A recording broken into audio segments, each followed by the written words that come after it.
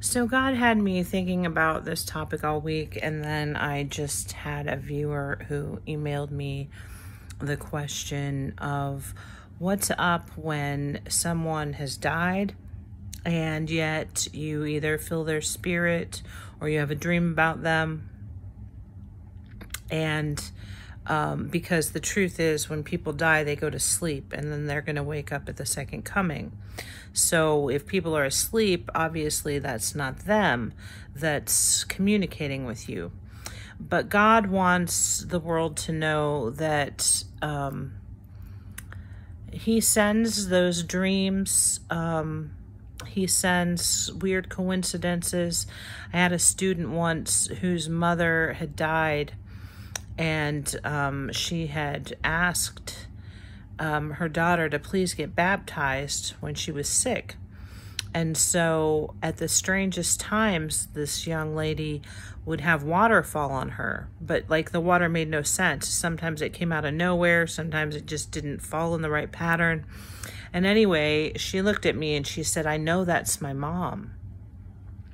And I was talking to God by this time, and God said, Yes, that's uh, that's a message from me to let her know that uh, it's pretty much to give people comfort.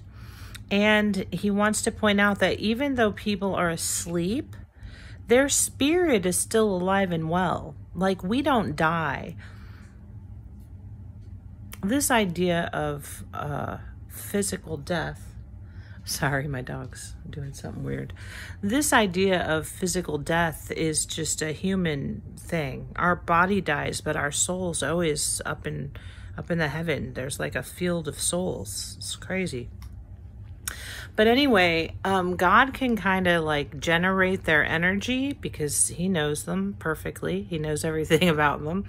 He can kind of generate their energy and let you feel them next to you like if you're really missing someone, God can, uh, everybody has their own different kind of energy. God can comfort you by um, letting you feel that energy. He can give you dreams.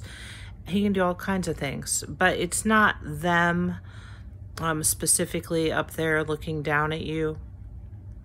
Um, that's just not the way it works. So um, take comfort that if you've gotten signs like this, that God loves you very much, that He wanted to comfort you, and that uh, you essentially heard from God. It's a beautiful thing. All right. God bless you all. Amen.